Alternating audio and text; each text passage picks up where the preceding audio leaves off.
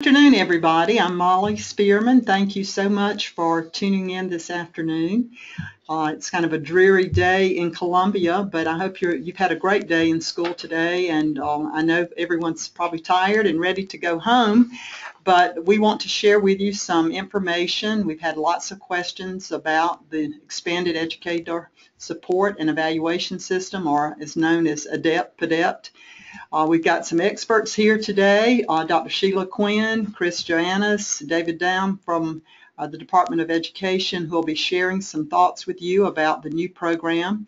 Uh, my message to you is, first of all, thank you so much for being a teacher, being an educator in South Carolina.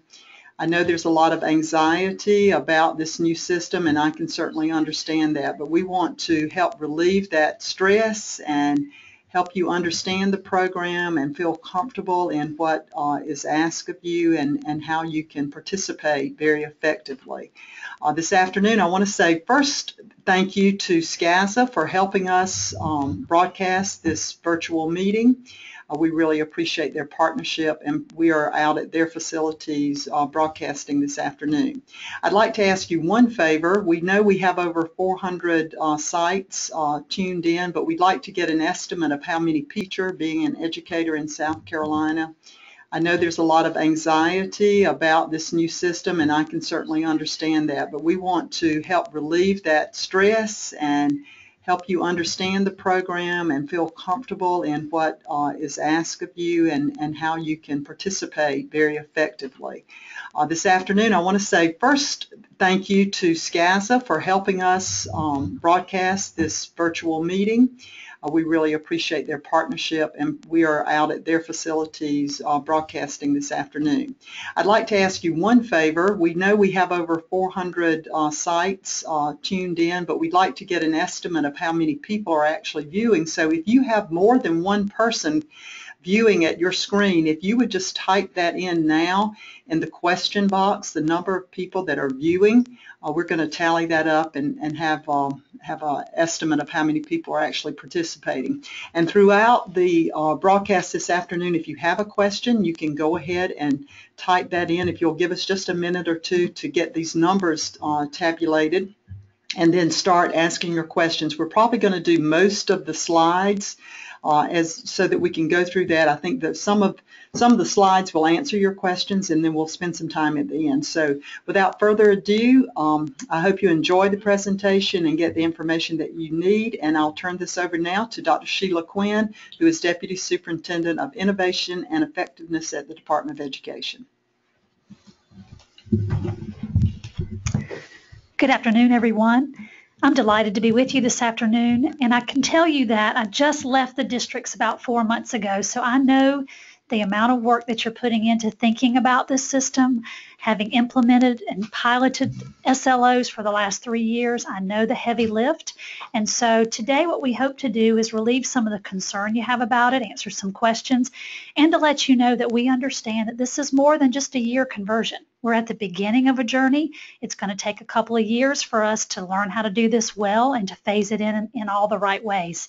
So as we go through the PowerPoint, we're going to start out with some general information, and then we'll move into some specifics about ADEPT and PADEPP. So by now, I hope you know that the graphic that you see of the profile South Carolina graduate is something we're all very proud of. It's something that other states are trying to emulate. And we know that to pull off this uh, college and career ready graduate, we're going to need effective leaders in our classroom and in our schools. In the past, the ADEPT and the PADEPP evaluation system have focused on professional practice, and we certainly aren't going to throw out the baby with the bathwater. We're still going to be focused on professional practice, but we also now want to be focused on the outcomes that we want for our students. And so the question is, how do you do that well? So uh, one of the things that we took advantage of as a state is that we took advantage of the opportunity from the federal government to write a flexibility waiver for No Child Left Behind or the ESEA waiver. And in that waiver, one of the things that you had to agree to was to begin to think about how to use student growth in appropriate ways to look at teacher effectiveness and leader effectiveness. And as we merge into that system, we want you to know that the focus of this is all about our professional growth as leaders and teachers. We want to get better at thinking about the outcomes of our students. So the first thing that you need to think about is that we're not just looking at student growth. We're looking at multiple ways that an educator can show how effective he or she is. In the ADEPT system, we've always had the four domains of planning, classroom environment, instruction, and professional responsibility. And those have not gone away. There were 10 APSs that went with those, and they're still a part of the system. The fifth domain, however, is student growth, and it's one of five equally counting domains. It's not any more important than the others. It's one piece of the puzzle.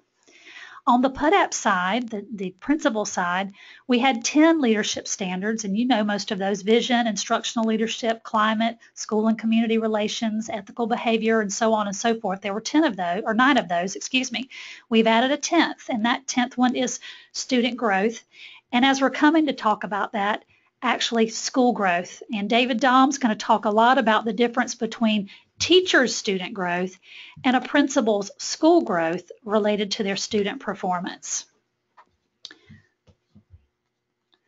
The other thing we really want to highlight is the fact that we're focusing on growth and not achievement or attainment. In South Carolina in the past, we've been very focused, hyper-focused on whether or not a student met the standard. Are they proficient or higher or met or above? That's not what we're doing in the current evaluation model. We're trying to take a look at where students start because students start at different places and we're trying to take a look at where students end the year with a teacher or in the where the school ends the year as a school in terms of their growth so if you look at the graph that you see below, you'll see four different students, and all four start at different starting points. But you'll also see, with the dark blue line, that all of the students grew in the course of a school year. They grew differently, they grew different amounts, but all students grew. And that's what we're trying to learn how to do, how to measure student growth. And to do that, you generally need two points in time data. You need a starting point and you need an ending point. And so what your districts are busy doing this year and next year as they're putting together this evaluation system is defining those measures that help us look at students from where they start the year and where they finish the year. So we're asking all teachers, all principals, to work with your teachers on the development of student learning objectives. And in the student learning objectives, you have some choices of what you do, what you look at for student growth. One of the choices you don't have is you can't ignore your test scores. So you've got to use your test scores in some way, and those are those tested subjects. But as you know, not all teachers are teaching the subjects that are tested. So we're also asking all teachers to look at local measures, those things that make sense for you locally at the grade level you teach for the subject you teach so that you can combine those test score measures and those local measures to look at growth in multiple ways. And so that bottom sentence is what we really want to highlight here. We want you to focus on multiple sources of evidence. And when in the end, when we've begun to implement across several years, we want to be able to look at multiple years before we make any kind of high stakes decision about a teacher or about a, a building leader. I'm going to turn it over to Chris Joannis. She's our director for the Office of Educator Effectiveness, and she's going to talk to you specifically about SLOs and what we're now putting in our new ADEPT guidelines for SLOs. Good afternoon. Good afternoon, everyone. I want to echo what was already said. I thank you for taking the time to be with us today. Um, I know it's been a long day for most of you, and it's exciting to see how many people have um, tuned in. As you all know, um, we've been very busy around um, the integration of student growth in the form of student learning objectives or SLOs. And uh, what they are is they are teacher uh, academic growth goals that would reflect the intended growth a teacher expects to see in student performance. And it relates to a, a particular standard or standards that are relevant and enduring over time. Um, what's neat about student learning objectives is these are teacher developed and the teacher is able to take uh, pressing data, concerning data, um, areas of need, and focus um, their time and attention on uh, student growth in that area. And so it's, it's a classroom level developed goal. Um, that, that the teacher has quite a bit of autonomy and control over uh, monitoring and um, then adjusting his or her instruction to respond to what they're seeing in that student data. So a couple of things about SLOs. First of all, uh, we're expecting one SLO annually um, as part of the teacher evaluation or expanded ADEPT system. Districts do have uh, flexibility to require a second SLO, and if there is a second SLO, there's there's additional flexibility in the, the approach and the type of SLO that a teacher may use for that second SLO. However, no more than two SLOs are recommended. There's been a lot of questions coming to our office around the definition of classroom-based. And classroom-based is, um, is applicable to teachers that plan, deliver, and assess instruction over time. And there's a couple of things we need to consider here. Um, value-added measures uh, are not going to be available for use in determining growth measures in early implementation. For example, uh, we collected value-added measures over the course of last year, and we're just now starting to see the results of that um, value-added measure, uh, uh, uh I'm sorry, value-added measure. And so it's already November. Um, it's important, as Sheila mentioned, uh, multiple sources over multiple years. So value-added measures, um, the scores, there's a delay in the scores. With that, for 15, 16 classroom-based teachers are going to write SLOs to measure the student growth. And it was because of that delay in value-added measure and the importance of making sure that we had multiple measures to draw upon when we were making decisions related to student growth. So classroom-based teachers, um, planning, delivering, and assessing. We get a lot of questions, and this is where you're going to need to think very carefully about your context in which your teachers are delivering their instruction. Um, there are many teachers that have, have the teacher licensure, but do not, um, they do not provide their services in a way that allow them to be responsible for their own planning, the delivering of their instruction, or more importantly, the assessing of their instruction over time.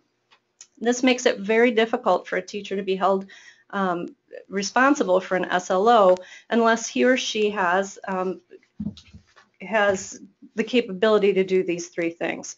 So what do you do? Well, first of all, first of all, you need to consider your local context and you need to decide whether or not the teacher is in fact responsible for these, these three areas. And if they aren't, then you should evaluate the teacher as you have in the past, um, assessing just their performance and not their student growth. Here's three areas or three classifications that we have determined are not classroom-based. Library media specialists, school counselors, and speech and language. Um, because these folks are not responsible for planning, delivering, and assessing their instruction over time, you continue to evaluate these educators using the 2006 ADEPT evaluation system. For the rest of those teachers, it's a discussion at the local level to determine whether or not um, those teachers have the capability of planning, delivering, and assessing instruction over time. So a lot of questions remain about special educators. And again, this is, this is context specific. However, most special educators are responsible for planning, delivering, and assessing students over time. Student caseloads are in fact a consideration. Caseloads of less than six um, calls for a district determination. I would also say that there's some um, team-based approaches to SLOs that might be um, attractive for special educators in a push-in model. For more information on special educators and SLO, you can um, access our SLO resources at ed.sc.gov backslash SLO. And Karen Bradford um, with the Special Education um, Office in the agency is also very helpful in answering special educator uh, questions related to SLOs. We get a lot of questions related to is student growth going away, and there's a lot of national attention on the reauthorization of No Child Left Behind and what's going to happen in the event that at the national level they determine that student growth is not required to be within a, a teacher evaluation system. And there's a couple of things to consider around SLOs in particular. First of all, SLOs, uh, they're a, a, mechanism for tracking student growth that are just plain good practice. Um,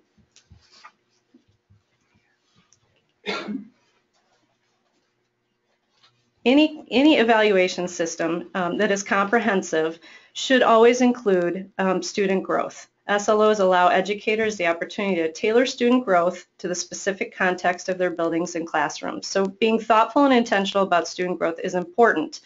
Evaluation of performance should connect to the student and SLOs especially allow teachers to do just that. Another question that we get is about GBE, professional growth and development plans, and some of what we would recognize as the old approach or old world with teacher evaluation and the new world of evaluation. So what stays and what, go, what goes. Um, completing the SLO um, satisfies the GBE requirement for evaluation. Section 9 of the SLO template is what a teacher completes in order to satisfy the GBE requirement of evaluation.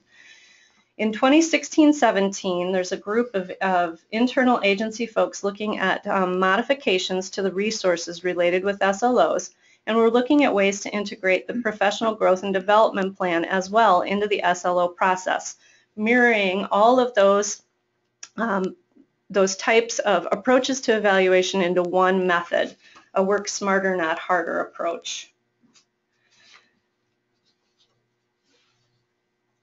All right, let's talk a little bit about scoring SLOs. Um, right now, you all have been engaged in an approval conference where you have constructed an SLO and you've engaged in a conversation with your SLO evaluator related to what's in the, in the content of that SLO, and you've likely been making some modifications to your SLOs according to um, the conversations you've been having with your SLO evaluator.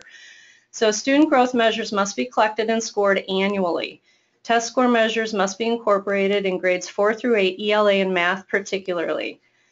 SLO ratings, meaning the scores at the end of the interval, would, re would reflect the percentage of students that have met their growth goal at the end of that interval. And as a reminder, intervals vary. Intervals are defined as the duration of time that the teacher is leading instruction for the students. For 2015-16, SLO evaluators are to presume proficiency in scoring SLOs. As Sheila mentioned, this is a learning year and we need to, to learn the process. We need to learn about looking at our data in slightly different ways. We need to look at our assessments in slightly different ways. So for 15-16, at the end of the interval, evaluators are to presume proficiency unless there is significant data to support another rating. Remember that SLO quality will continue to improve over time. Um, be patient with yourselves as, as teachers, as SLO evaluators, and allow for, for learning the process. Um, here are some of the things that we've been hearing recently out and about when we're presenting in with the field. And, and I, I have to mention that despite all of what the heavy lift that you might be feeling around SLOs, these three comments capture the essence of why we're why we're doing it. Um, folks are reporting um, deeper conversations around student data, unlike they've anything they've had before. Um, we've had teachers that have, have said that in the past they haven't had the opportunity to demonstrate what it is they do for kids, and this is providing that. And then, uh, of course, the collaboration between teachers and specialists, as well as between teachers and their evaluators. Um, so these three um, types of comments capture the essence of, of, why we're approaching student growth in this way. I'm going to turn it over now to, to David Dom. David is the PADEPP coordinator and he has recently joined our Office of Educator Evaluation so that we can work to align what's going on with teacher evaluation with principal evaluation. All right, good afternoon everybody. I'm going to talk to you for a few minutes about the uh, the program for assisting in developing and evaluating principal performance and, and really want to reinforce that this is a three-part program. We are talking about assisting, developing, providing some level of direction to our principals, and then at the back end of it, there's that evaluation piece. As of the March 2015 revision, we're now including a, a 10th standard in PADEPP, which is our growth standard. Um, it's a little complicated when you think of it for a principal who's responsible for the school in its entirety to, to look at the student growth and make that determination. So this is really a measure of school growth. We're talking about the school as a whole when we're talking about Standard 10. Reminder, you've heard it before, got to use the state assessment data in this measure, but, but the guidance is that you're using multiple years of data and multiple measures of data. So one piece of that should be our state assessment information. What other data is available? This is the question I get uh, most often, and we've, we've looked at this and talked about this, and, and one of the things we'll ask you is, what are the things that you're already tracking? We recognize that you're already tracking your schools and your principal performance. That's, that's happening. But what, what other data is available for to use besides the state assessment? We get some guidance from NAESP and NASSP, um, Elementary and Secondary School Principals Associations, that suggest the measures of student outcomes include the following things. Portfolios of artifacts, formative and summative teacher administration, test data, benchmark assessments, attendance rates, discipline referrals, graduation rates, ACT, SAT, advanced placement scores, maybe percentage of students that are taking AP classes, scholarships awarded, school-wide special recognitions.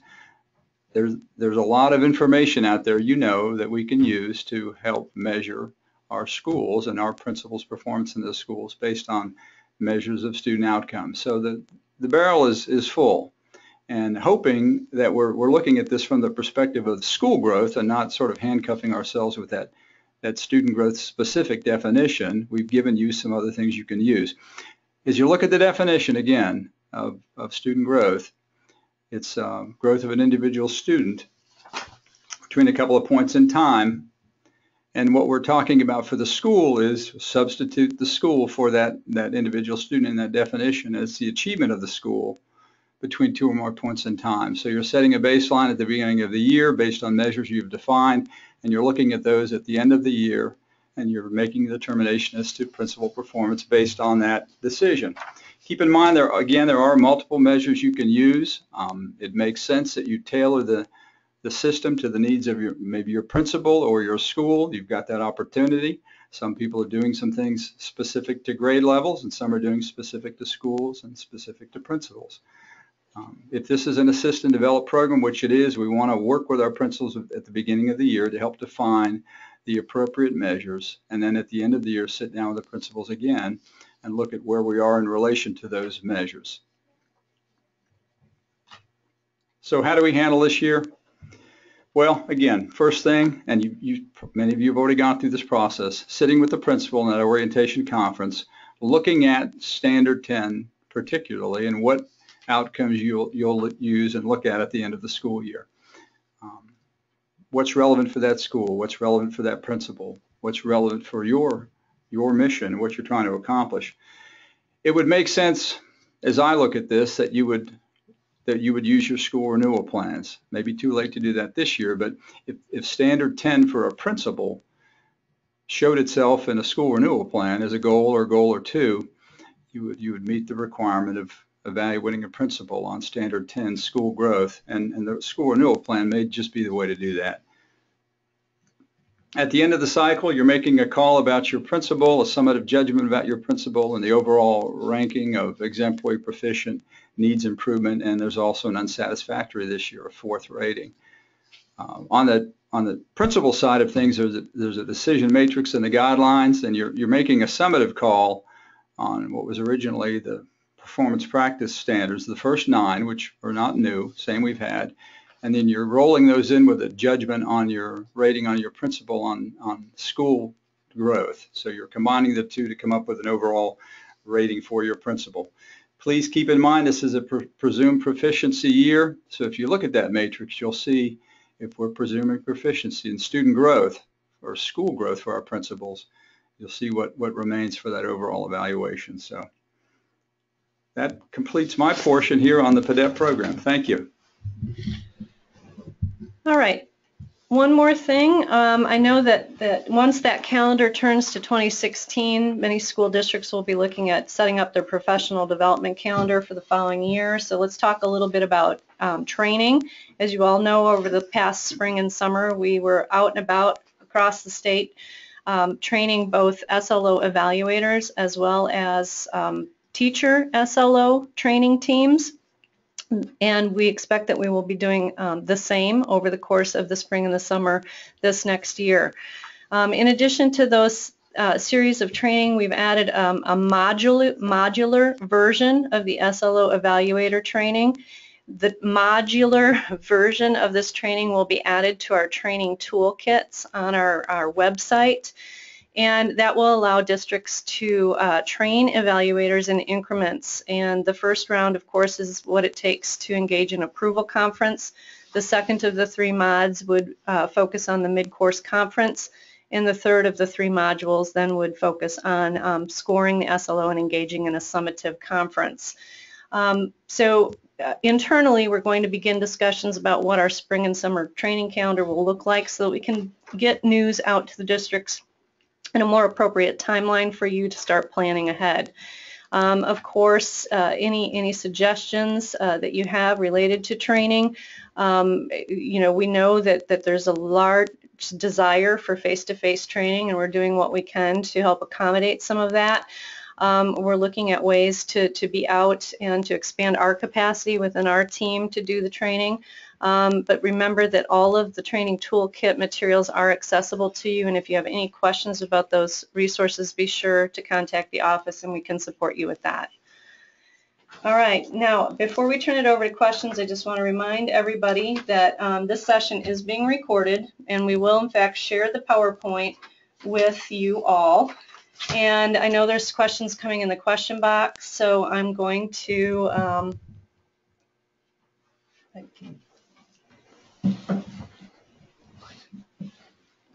You just give us one minute, we're going to review these questions and we'll start the question and answer portion.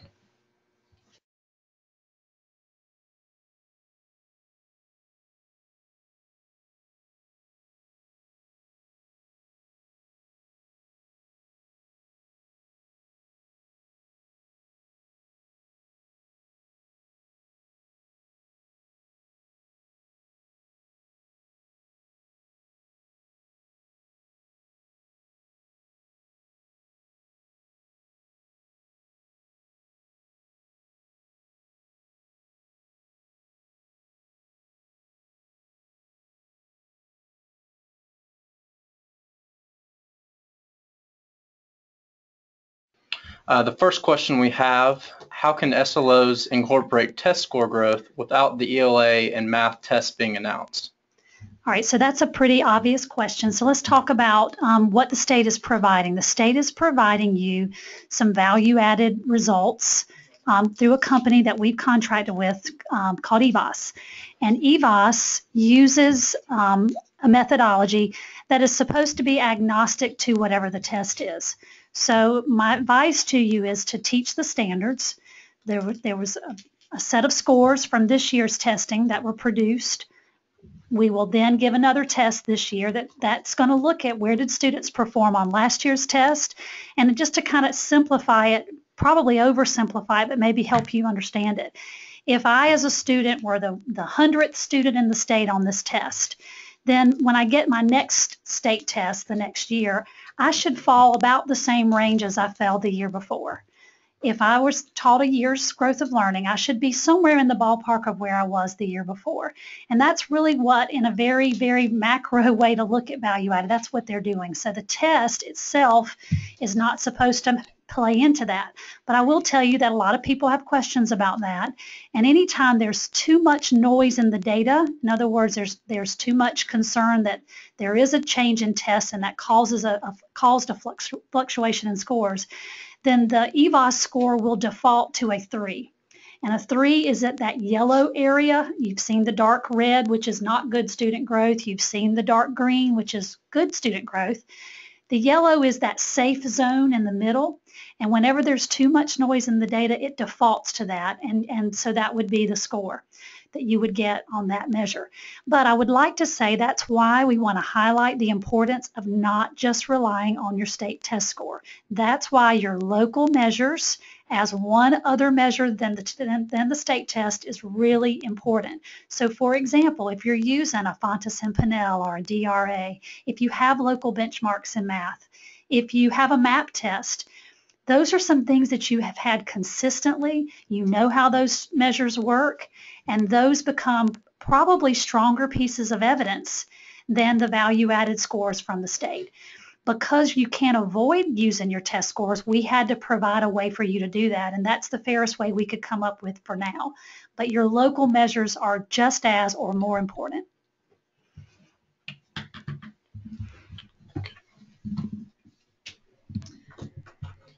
All right, I'm going to I'm to address a question related to guidance on setting growth targets. Um, the teacher SLO training toolkit gets at um, the process a teacher would engage in to set um, growth targets. Uh, essentially, a teacher looks at any and all historical data that he or she may be able to find on a student uh, related to uh, what past performance might indicate.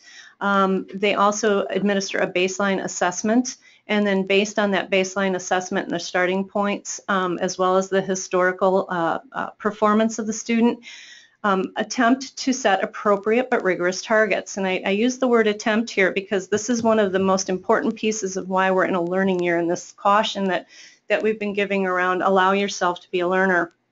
The SLO process is not going to be a flawless process out of the chute. Um, and setting appropriate growth targets is not something that comes easy. And we expect to see a lot of, of folks, quite honestly, be off in their growth targets. That's why the mid-course conference is so critical in the three-step um, check-in, because at mid-course conference, if it looks as though you've set your growth trajectories um, inappropriately, you can make adjustments based on the data that you have to date. So over the course of time, uh, uh, you will start to see that, that you as a teacher will be better and better at setting appropriate yet rigorous growth targets, but at first it's going to feel somewhat um, awkward and clunky. But allow yourself to, to learn through the process, and that, that's why we're encouraging all folks to understand how important it is that we're at, in a learning year.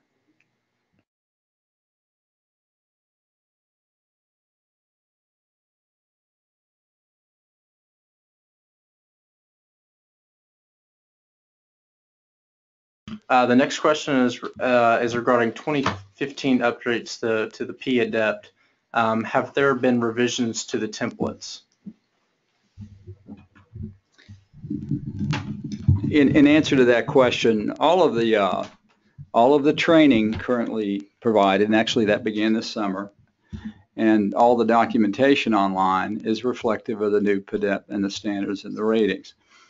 Um, so if you're specifically talking templates, you'll find that information in the PADEPP guidelines that are available at the State Department website under principal evaluation.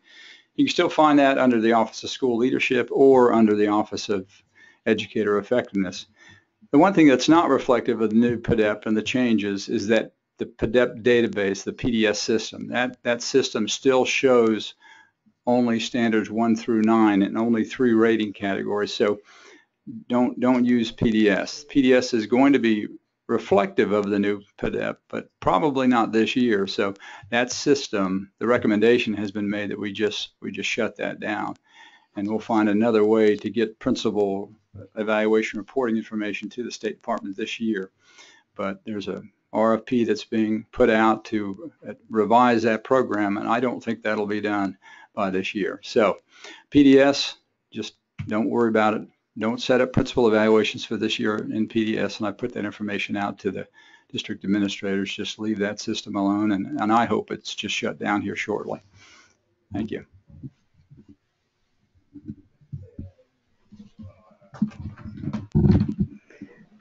Okay, the next question that we're looking at here talks about a teacher who's in her annual year looks like she's being asked to do a unit work sample, a long range plan, all the observations that go with that annual contract year and SLO.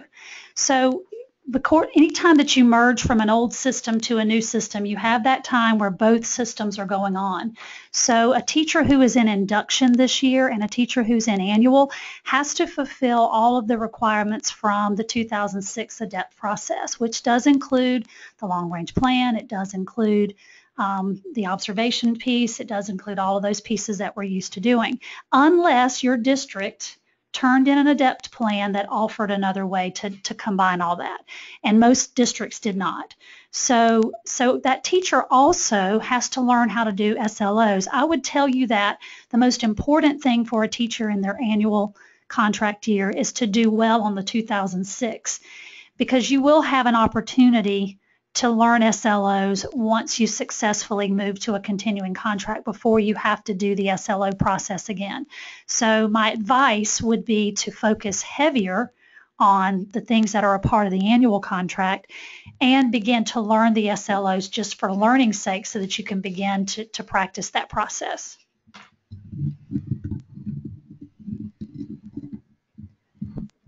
Okay, there is a question related to what, what exactly is multiple years of data and when will the process be used in high stakes uh, personnel decisions?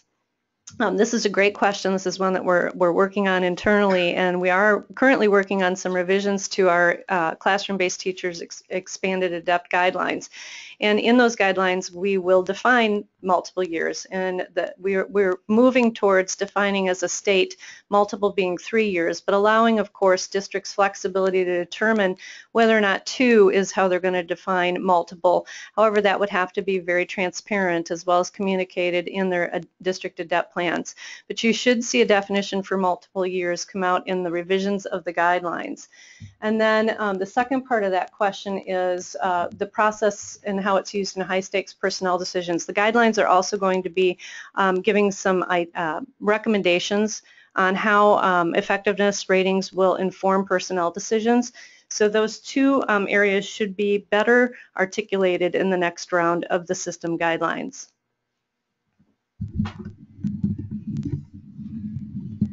And I think that Chris would, would not say this, so I will for her. Those guidelines have to go before the state board. And so um, until they go before the state board, we're not commenting fully on them. But you should know that we're not writing these guidelines at the department by ourselves. We are working with the field with lots of HR directors. We are getting feedback from the field about what should go into those guidelines, including when we'll be ready as a state to be able to use them for personnel decisions. So I'm going to go on now to the next question. The next question talked about what's going to be our state test for next year. And don't you know, I wish I could tell you that today. I can tell you this, though. The committee who has been working to select that test has finished its work. And there's a there's a negotiation that has to go back and forth between the State Fiscal Accountability Authority and the contractors who bid on the test. So that we're in that period of time right now. So we should be able to announce very, very soon what tests we're going to have in 3 through 8, what tests we're going to have for grade 11, the college entrance test that's required, and if there will be funds to do a grade 9 or 10 test. We already know we're going to have WorkKeys, and WorkKeys is just one measure at the high school level, but uh, we will have the, the name of those other tests probably within a week.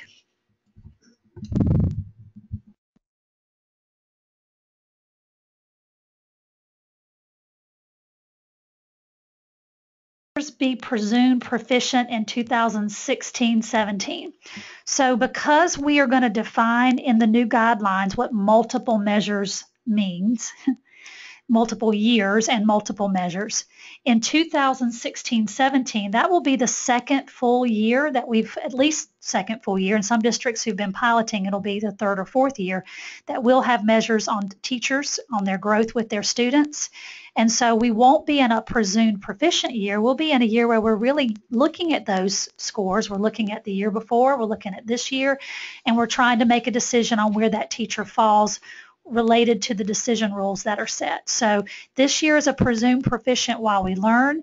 Next year there'll be some decisions. But again, when we say informed personnel decision, what we want you to understand is this is not, it's not the type of metric you can say it's all or nothing. It's got to be a part of a bigger picture. It's one piece of data. It's one of five big domains we're looking at. And so unless there are problems in other places, student growth alone for the next two years is just one piece of information being used to decide how the teacher is doing in the classroom.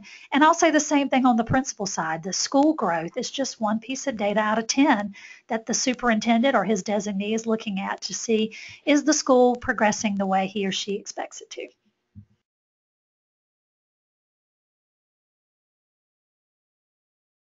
It's a question related to alternative schools and um, in with classes less than six students. And my response to this question is it's not so much about the alternative schools as it is the individual classroom context and the context of that teacher. Um, sounds to me like low, uh, small number, uh, small caseload, and remember there's a business rule related to anything under six is a district decision as to whether or not that teacher will write SLOs. But more importantly, in an alternative school setting, it's important to consider the interval of instruction of, of those students. Sometimes that interval is very short. Sometimes the approach um, or the service that that teacher is providing while in the alternative context is more of um, a support, um, a supporting role for um, the instruction or the curriculum um, of the home base for that student. So this is where the classroom, the definition of classroom-based teacher really comes into play considering whether or not that teacher is um, fairly um, is appropriately able to plan, deliver, and assess instruction over time to students. And again, that's a local context decision.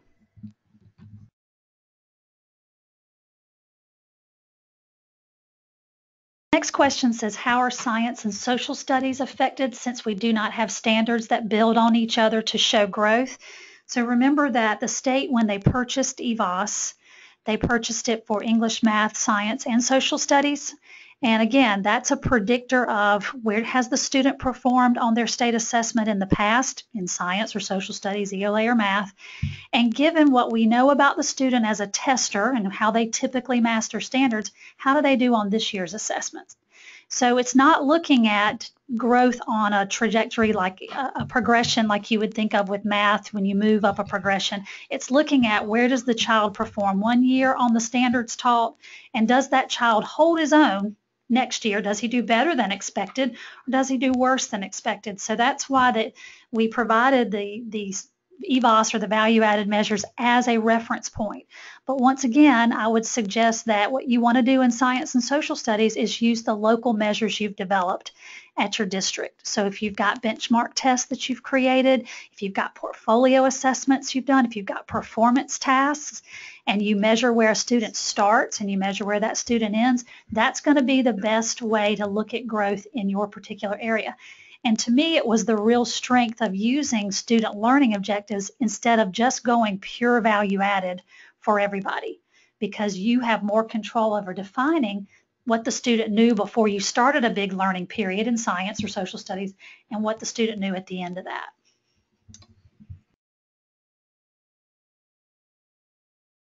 Related to CATE centers and, and career and technology courses um, as it applies to SLOs. And my goodness, there's so many different um, subject areas included in that umbrella of, of career and technology that I could not begin to discuss exactly what would be some relevant assessment sources. However, um, I do know that the CATE office in our agency has worked with our team from the very beginning on SLOs, and I'm, I'm confident that if you contact Marty Martin, um, or any of his colleagues, they would be able to give you some specific examples related to the various CATE courses and how that applies to SLOs.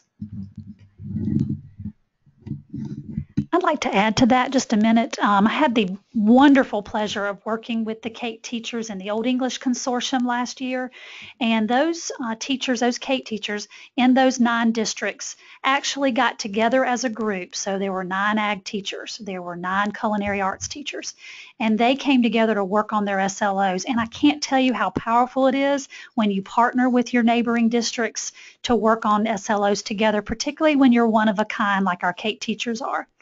And I know that some of the things that they talked about is they looked at what would be a good skills measure, paper pencil, and what would be a good performance measure. So they actually focused on developing two measures. One, um, I think some of your CATE programs have a test bank. Um, I know Ag does. I'm pretty sure Culinary Arts uh, does as well.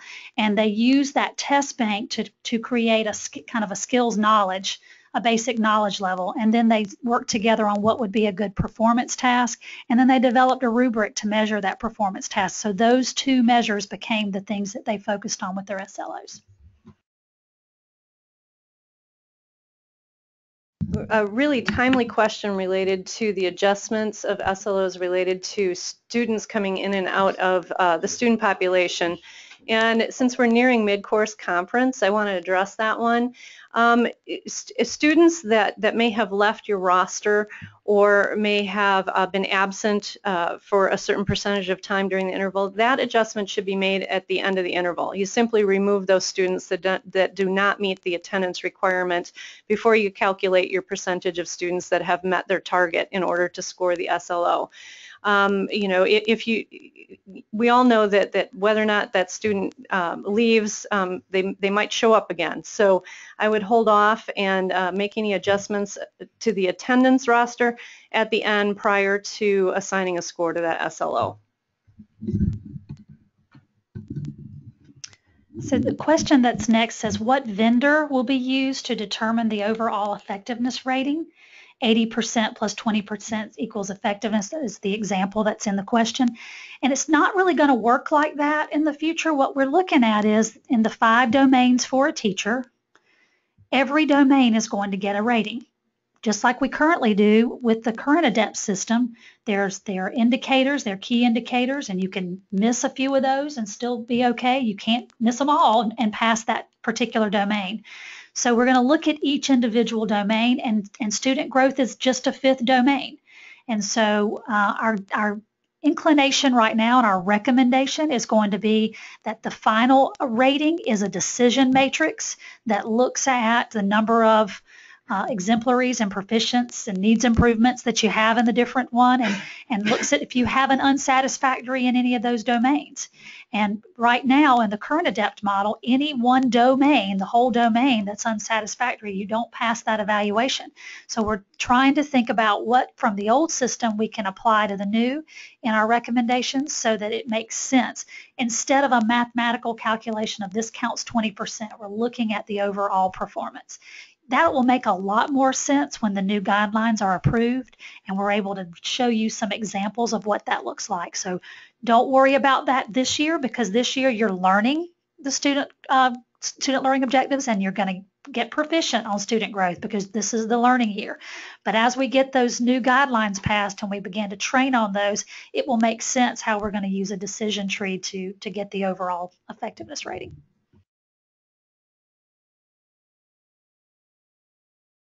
Address the, the question related to will the 80% uh, change. Um, and I, I, understand that a lot of people remember when we first came out and we're very driven with percentages and communicating our, our system.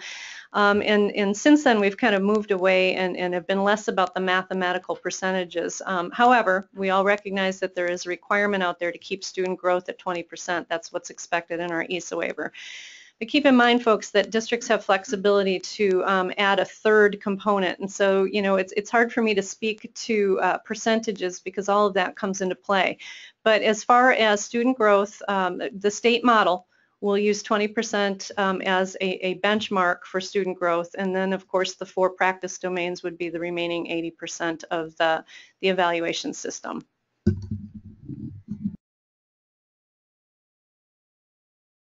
Question, does this apply to charter schools? Any school system that is governed by the state of South Carolina who has to evaluate teachers according to the ADEPT model has to follow the new ADEPT guidelines. So it would apply if you're a, a charter school under a school district and that school district has an overall ADEPT plan, then that charter school would follow that ADEPT plan.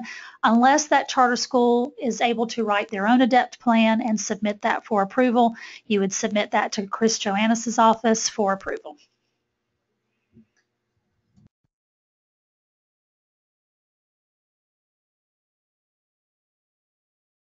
And I think that concludes all of the new questions. There are some, there's some overlap in questions. Let's see.